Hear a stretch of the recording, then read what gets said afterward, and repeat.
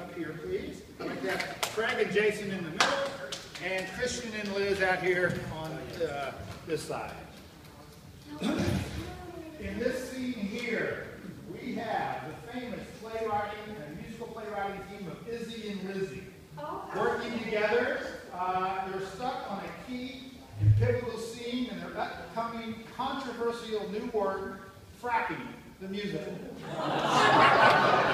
Here, Craig, Craig and Jason, this is a book signing going on. Jason is the author of, uh, because of Full Moon tonight, Jason is the author of Werewolf for Dummies. Jason uh, uh, is, uh, Craig is in line because he thinks he's not a fan, but he thinks Jason stole his idea. Now, in this scene, though, in tribute to the full moon, Craig is really a word, wor a world word wolf. Easy for me to say. when he hears a certain word, he change into a werewolf. What's that word? Kumquat. Okay. Look, And finally, we have Christian and Liz. These are two frustrated poets. This is in the uh, work the, uh, the lunchroom. They're stuck working, composing greeting cards for the Cedar Lake nudist colony. So, uh, these are the scenes. Uh, what's going to be the first line in the scene here for Izzy and Lizzie with the musical?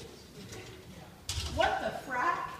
What the frack? As they go through the scene, I will find a place to ring the bell, and the last line I ring the bell on will become the first line in this scene, and then it will continue, and we'll go round and round and see how, what kind of mojo we can work up. You can start anytime. What the frack? Uh, it just doesn't have that ring to it. You know what the problem is? What? Nothing rhymes with frack.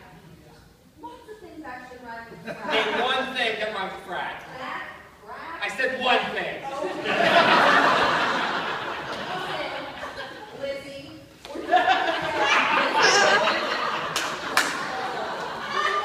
get anywhere if you keep this attitude with me.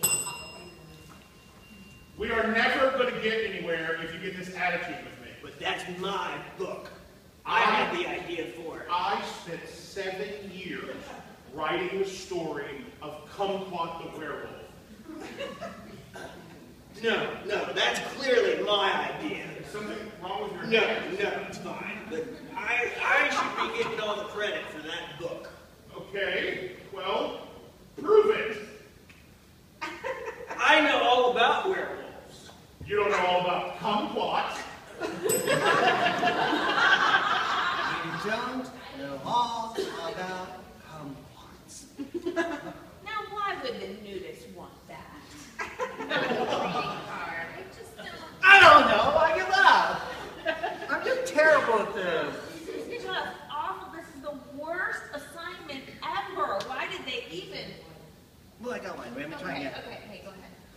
I see a little kitty. I'd like to touch her. No, never mind. That's bad. Good. try again. not good. I'm as free as the wind without my pants. I'm free as the wind without my pants. Come on, Mr. Governor, do your dance. Getting somewhere I like. Like that? Then, okay, so then we bring in the protagonist, though. And I thought we need to build on that. I mean, I don't know, really make an impression with this. I really want to make an impression with this. This is my life's work. Well, you're making kind of an impression with your hands right now. Just ignore those. It's a condition. Do you maybe need to sit down or? I don't know. I'm, I'm kind of hungry.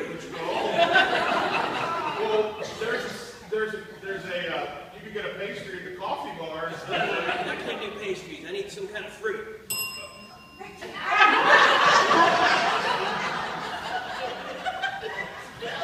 I need some kind of fruit. Cover that. That's good.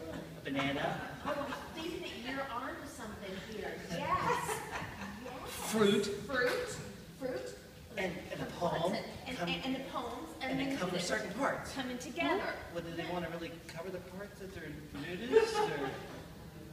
Uh, we're at square one again, aren't we? No, no square one. No Ah, square one. so We're going to start with the fruit and the Okay. pants and the wind. That's Okay, good. all right. So we're going to start with the fruit and then pants in the wind. Makes perfect sense. I figure we could go with coal, but that's like that's too obvious. Take a metaphor. Absolutely. metaphor which is everything. I, love it. I, I, well, thank you. Thank you. you're really smart. You know, you are too. You're a very good writing partner. You're a very good writing partner.